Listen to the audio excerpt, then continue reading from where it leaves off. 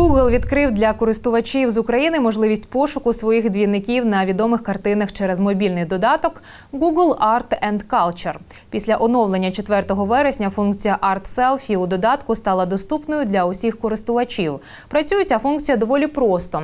Ви робите селфі, додаток не дає можливості завантажувати фото. Після чого програма аналізує зображення і показує кілька картин, на яких є схожі на вас персонажі. У супроводній довідці також можна дізнатися, хто намалював картину з вашим двійником і в якому музеї вона зберігається.